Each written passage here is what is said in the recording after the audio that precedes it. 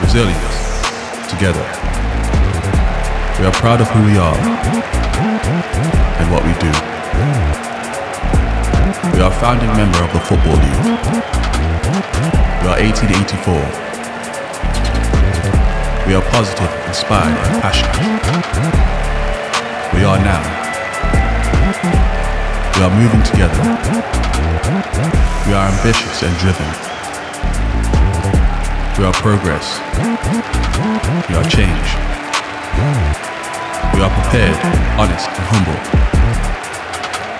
We are the highs. We are the lows. We are the heartbeat of our community. We are the famous black and white. We are the dreams come true. We are the club of opportunity. We are the memories. We are the yet to come. We are Derby.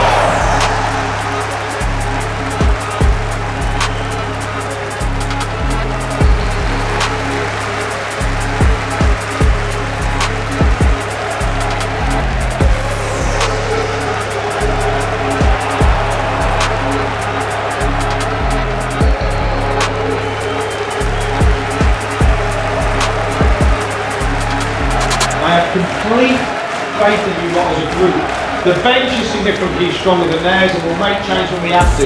And I can't express it enough to you. You have to gas out. You have to be brave on set pieces, right?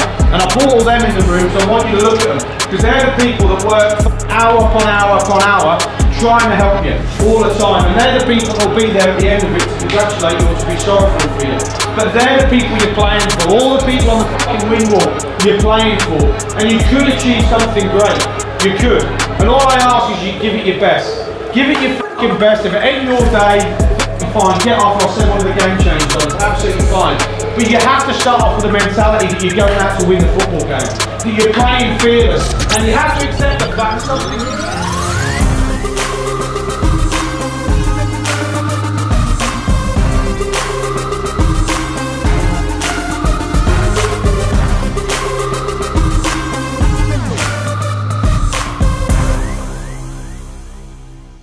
Hello, hello, welcome to the preview show from Rams TV. The end of the League One regular season is getting closer and closer, and everything is still up for grabs for Derby County. Today, the Rams are facing Leyton Orient at Pride Park Stadium for the very first time. We've got all the build up to come ahead of this one for you, but we'll start, as always, at this stage of the campaign by taking a look at the top of the table.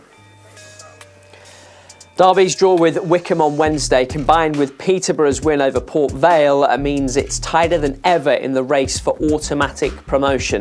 Portsmouth are seven points clear at the top, and though Derby lead Bolton by two points and Peterborough by six, they have both played fewer games than the Rams.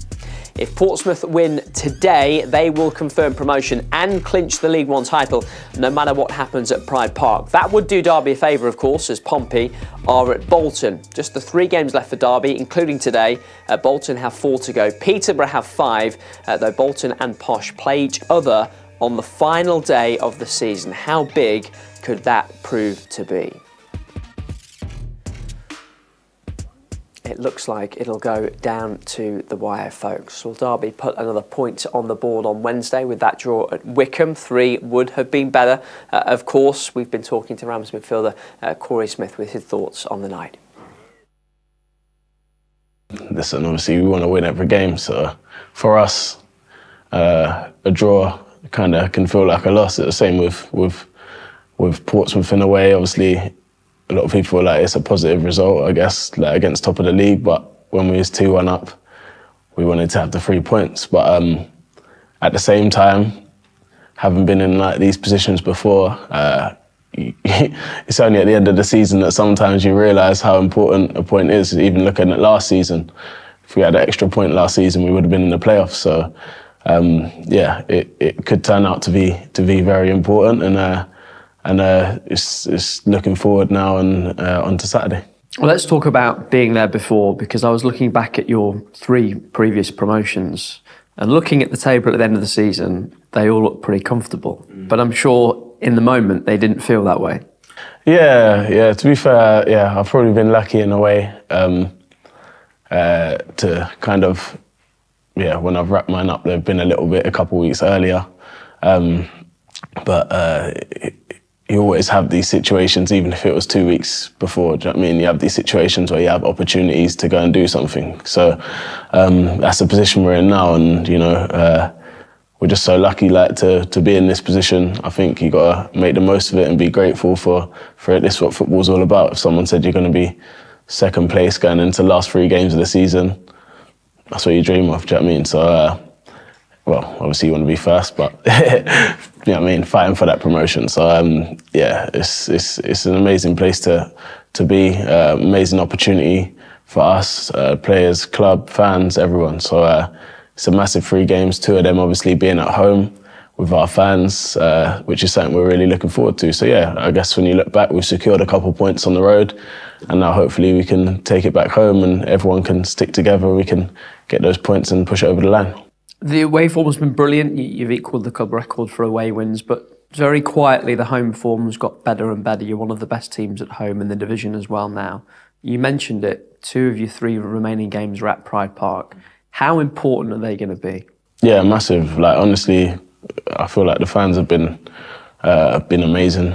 Um, you know, since I've been back from injury as well, like the home games just feel like just they're, they're behind us no matter the result, winning, drawing, losing. Um, uh, and they're just trying to stick with the team. They just want to get promoted just as much as us. And I just feel like, you know, in these last few games at home, they're going to be going to be absolutely massive and just give us that extra man, give us that extra boost. Uh, I don't think sometimes fans realise how much it does help when uh, when they're spread, spreading positivity and cheering for us and you know um, getting behind us, and it really does give you a, a extra boost of energy. So you know, um, yeah, we're calling on them on them to to carry on getting behind us, and yeah, hopefully we get the job done. That's Derby midfielder Korey Smith. Now, not everyone has something to play for at this stage of the season, of course. You can probably count Leyton Orient in that number, though they're not officially out of the running for a playoff place. It would take something remarkable for them to make it from this position. Still, it's been a great season back in League One for the O's who were promoted from League Two as champions last season. And though it hasn't all been smooth sailing this term, they did get themselves in the playoff picture with a great run of 10 wins in 15 games from mid December to mid February. They drew with Exeter on Tuesday, Ollie O'Neill scoring directly from a corner. But it wasn't enough to close the gap to the top six. Andrew Butler from Orient Live has been talking to us about the moment the O's playoff hopes faded. I'd say it probably died away when we conceded a last minute um, goal to Lincoln on Good Friday. Um, we really uh, only got into that position um, from having a fantastic start to the calendar year. The January form was was incredible. 3 0 win away at Portsmouth was one of the best wins truly in about a decade. Um, we had some kind of some some incredible results against teams like Bolton as well. And it just put us in a position where that that nice position, I suppose, of, of being described as dark horses. There was absolutely no anticipation, no expectation that would be close to the playoffs this season. And you know, you got to a position where people were describing us um, as such, and so it was a tantalisingly close area to uh, uh to to get into. But unfortunately, um, know, we kind of ran out of steam. A couple of injuries didn't didn't help us in that period. Of course, every team gets injuries, um, but um, we, have done incredibly well regardless this season. Yeah, almost nailed on. Almost nailed on for for a top ten finish, and I would guess going into the season that would have been dreamland for most Orient fans, right? Yeah, absolutely. Um, if you'd asked me genuinely at the start of the season, I would have taken 18th, 19th, just consolidate our position back in League One. It's been a, a few years since we were playing at this level. We've had a, a couple of um, fantastic years um, and a couple of fantastic promotions in, in, previous years, and so it was an element of, of, of trying to consolidate our position. And like I said, that that that start of this calendar year was um, has, has rocketed us up the table. There's a little bit of nerves um, in the autumn uh, uh, about our form and, and how we were going to adapt to this league. But uh, we've managed to keep a, an incredibly strong squad um, that has come up from from League Two into League One, and it was just a, a, a process of adding players into to the positions that we needed filling. Um, and a lot of credit has to go to Richie Wellens, um, our manager, in that he's galvanised that squad um, into into getting us to to this point. And the club's ambitious. Um, I think we'll try and kick on next season, knowing that we have the capabilities to get into the top ten in League One. Um, I think we'll be looking up next season and, and trying to push for the playoffs let me ask you about Jordan Brown, who's a great kid, came through the academy at Derby. It's been brilliant to see the part he's had to play for Orient. This season in particular, when he's played an awful lot for you. Yeah, he's been brilliant. Um, I remember we we exchanged messages when he when he joined the club, and he kind of said, "How you look after him?" And uh, I, I'm I'm delighted to say that that we have. He joined us at, at an incredibly young age, and you know when you see a profile of player like that, they are young you can see just their, their, in the physical sense they're, they're looking young as well. But this season he's he's kind of bulked up a little bit. He's certainly become a man and he's got 45 appearances for us this season, fourth most minutes um, in the league um, for us, and he's added a couple of goals as well, three goals, two assists in in those appearances. So it's been brilliant to see him develop as a player, um, but also grow into that position. Uh, he's still uh, you know, a, a, little bit bit of the way off there. Um, but you can just see players like him developing into into fantastic players. And um, and yeah, I, am reticent to say that Derby lost a good one, but um, but we're very pleased for him. Yeah, I'm delighted to see how well he's done. Uh, we'll be keeping an eye on him on, on Saturday. Who else should Derby fans keep an eye on? Who are the stars of this this Orient side? Yeah, well, Ollie O'Neill. We bought him from uh, from Fulham. Um, he didn't play any senior games from Fulham, but we bought him in uh, from Fulham on in January, and uh, and since coming in, he's been absolutely fantastic. Five goals, three assists in in 15 appearances. Um, scored directly from a corner against um, Exeter on on Tuesday night. Scored another fantastic goal um, against Cheltenham uh, last Saturday too. He's really lit up um, the club since he's joined, and and we needed a player like him as well. We lost um, Jordan Graham and Theo Archibald, um, who are kind of some of our star players uh, to injury throughout the season. Um, but Ollie O'Neill's come in and and done a fantastic job for us. Unfortunately, Idris El Mizouni, um, personally one of my favourite players, is also out for the season. Um, but also look out for for someone like Ethan Galbraith as well. He's played um, 42 times for us this season. He's come through Man United's academy. Um, we got him uh, at the start of the start of the season. He's been utilised more or less as a right back, despite centre midfield um, being his his predominant position. Um, and so you'll see him if he does play right back, he'll drift in field. But he's he's also been a player that, that has really excelled this season. Uh, a couple of um, incredible goals that he scored of late, um, and, and, a, and a player who's got a really bright future ahead of him also.